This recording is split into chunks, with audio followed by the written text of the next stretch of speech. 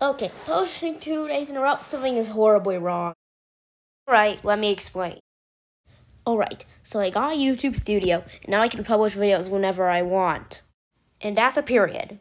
And hopefully that'll quench your first about why you're thinking